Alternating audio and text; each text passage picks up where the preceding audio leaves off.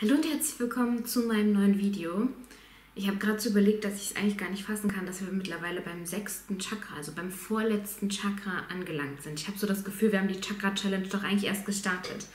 Also bei solchen Sachen merkt man erstmal wieder, wie krass schnell die Zeit vergeht. Und wir sind beim sechsten Chakra angelangt, dem Stirnchakra. Und die Farbe des Stirnchakras ist dunkelblau und es liegt, wie der Name schon sagt, auf der Stirn. Und zwar da, wo sich auch das dritte Auge befindet, zwischen unseren Augenbrauen. Und die zentralen Themen des Stirnchakras sind Intuition, Weisheit, Erkenntnis, aber auch Wahrnehmung, Fantasie und Vorstellungskraft und Selbsterkenntnis. Also ein ganz, ganz wichtiges Chakra, wenn wir wieder zu uns selbst finden wollen, aber auch zum Beispiel für Visualisierungen ist es sehr, sehr, sehr, sehr wichtig. Oder auch dieses, ähm, wenn wir mehr auf unser Gefühl hören wollen, ist nicht nur das Bauchgefühl wichtig, sondern auch die Intuition. Und die stärken wir halt zum Beispiel mit dem Stirnchakra. Und wie alle Chakren hat das Stirnchakra natürlich auch Einfluss, körperlichen Einfluss. Und die Einflussbereiche sind klassischerweise ne, am Kopf, also ähm, Kleinhör, Kleinhirn und ähm, die Sinnesorgane, also Augen, Ohren, Nase. Gesicht und Nebenhöhlen, aber auch Hormon- und ähm, Nervensystem und die Hypophyse. Und über das Stirnchakra kann sich der Mensch mit der geistigen Welt verbinden. Also wenn dir das manchmal vielleicht schwerfällt oder wenn du da das Vertrauen dahingehend stärken möchtest, wäre es vielleicht auch eine gute Sache, am Stirnchakra zu arbeiten. Und wenn man ein gut entwickeltes Stirnchakra hat, dann hat man wirklich eine sehr beeindruckende Vorstellungskraft und Fantasie und einfach geistige Klarheit.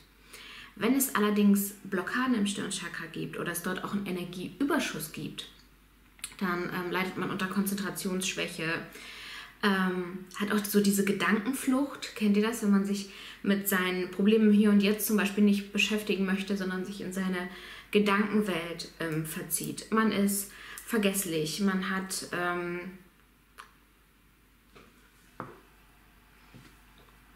Man ist zum Teil vielleicht auch geistig ein bisschen verwirrt. Auf der anderen Seite ähm, leidet man zum Beispiel auch unter Selbstsucht, unter Selbstverherrlichung, Machtstreben, hat eine sehr egoistische Haltung. Und wenn man jetzt mit dem Stirnchakra arbeiten möchte, sind natürlich wie immer Meditation, Yoga-Übungen ganz, ganz toll. Die verlinke ich euch auch wie immer unten in der Infobox. Es gibt auch zum Stirnchakra wieder wunderschöne Produkte von Chakmoni und ich freue mich, dass es auch im sechsten Monat so ist, dass ihr jetzt auch 10% auf die Stirnchakra-Produkte bei Chakmoni bekommt. Den Link und den Code, den ihr dafür nutzen könnt, findet ihr unten in der Infobox. Schaut einfach mal vorbei, was es so alles gibt. Also ich bin ein großer Fan von den Tassen und den Glasuntersetzern, weil die sich halt mega in den Alltag einbauen lassen. Aber es gibt halt auch sehr, sehr, sehr, sehr, sehr, sehr schönen Schmuck. Ähm, dann könnt ihr natürlich auch wieder mit Edelsteinen arbeiten. Das wäre jetzt im Fall des Stirnchakras der blaue Saphir und auch der Opal. Ihr könnt wieder mit ätherischen Ölen arbeiten. Das ist Lemongrass und Veilchen. Und Gewürze, wenn ihr dahingehend arbeiten wollt, sind Kurkuma und Lorbeer, wenn ihr das Stirnchakra stärken möchtet.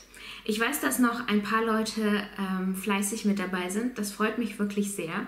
Schreibt gerne in den Kommentaren mal, was so eure Erfahrungen bisher waren. Euch mal wirklich jeden Monat oder einen Monat lang auf ein Chakra zu konzentrieren, was ihr vielleicht schon für Veränderungen wahrgenommen habt, weil es fließt jetzt schon gut Energie durch die ersten fünf Chakren.